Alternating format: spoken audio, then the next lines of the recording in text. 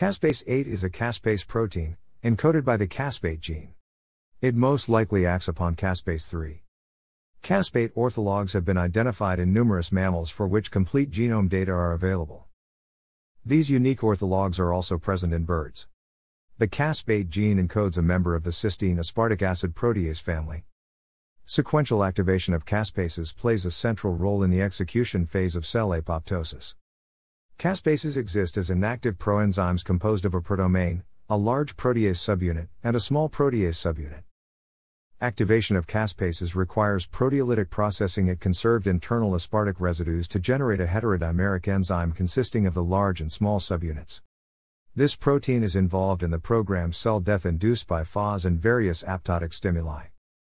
The N terminal FADD like death effector domain of this protein suggests that it may interact with FAS interacting protein FADD.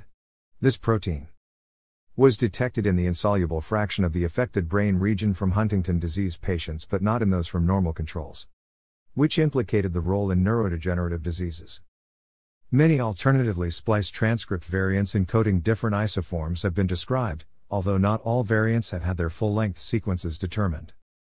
A very rare genetic disorder of the immune system can also be caused by mutations in this gene. This disease, called CEDS, stands for caspase 8 deficiency state. CEDS has features similar to ALPS, another genetic disease of apoptosis, with the addition of an immunodeficient phenotype. Thus, the clinical manifestations include splenomegaly and lymphadenopathy, in addition to recurrent sinopulmonary infections, recurrent mucocutaneous herpes virus, persistent warts and molluscum contagiosum infections, and hypogammaglobulinemia. There is sometimes lymphocytic infiltrative disease in parenchymal organs, but autoimmunity is minimal and lymphoma has not been observed in the CEDS patients. CEDS is inherited in an autosomal recessive manner.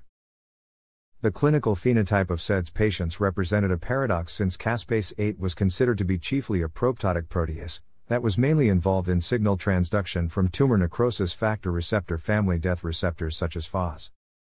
The defect in lymphocyte activation and protective immunity suggested that caspase 8 had additional signaling roles in lymphocytes.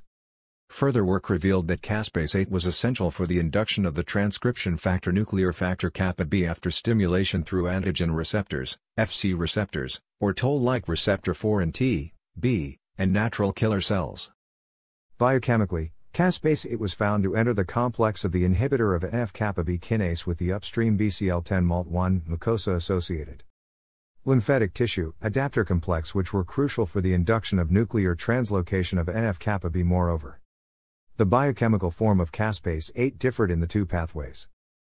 For the death pathway, the caspase 8 zymogen is cleaved into subunits that assemble to form the mature, highly active caspase heterotetramer whereas for the activation pathway the zymogen appears to remain intact perhaps to limit its proteolytic function but enhance its capability as an adapter protein. Caspase 8 has been shown to interact with. Thanks for watching.